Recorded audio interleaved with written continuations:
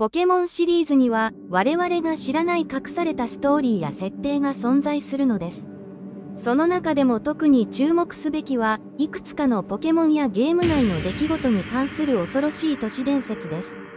ポケモンシリーズは子供から大人まで世界中で愛されているゲームですが、その裏には数々の不気味な都市伝説が存在します。今回はその中から3つの衝撃的な都市伝説をご紹介します。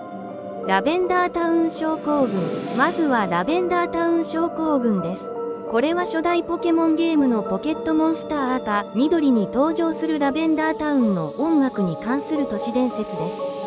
ラベンダータウンの音楽は耳障りで不気味なメロディーが特徴ですがこの音楽を聴いた子供たちが次々と体調不良や精神的な異常をきたしたという話が広まりました。特に音楽の特定の周波数が脳に影響を与え幻覚や自殺衝動を引き起こすという噂が恐怖を増幅させました。この話が広まった結果5のバージョンではラベンダータウンの音楽が変更されることになったとも言われています。消えたポケモン次に消えたポケモンの都市伝説です。初代ポケモンには本来存在するはずのポケモンがデータから消されたという噂がありそのポケモンの名前はゲンガーやカイリキーといったものです。しかしその本来の姿は誰も知らずプレイヤーたちの間で様々な憶測が飛び交いました。一説にはこれらのポケモンは開発段階で恐ろしい能力やデザインが全員で削除されたと言われています。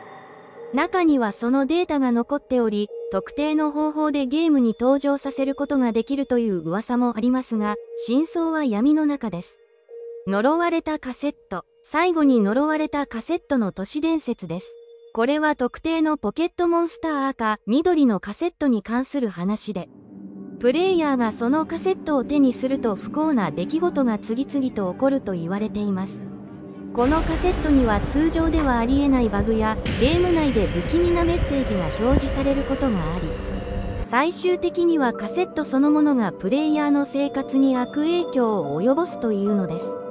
一部の報告ではこれらのカセットはもともと開発者の一人が呪いをかけたものでありその呪いが今も続いていると言われています。ポケモンの都市伝説はその魅力的な世界観にさらに深みを与えています。あなたはこれらの都市伝説を信じますか？それともただの作り話だと思いますか？コメントであなたの意見を教えてください。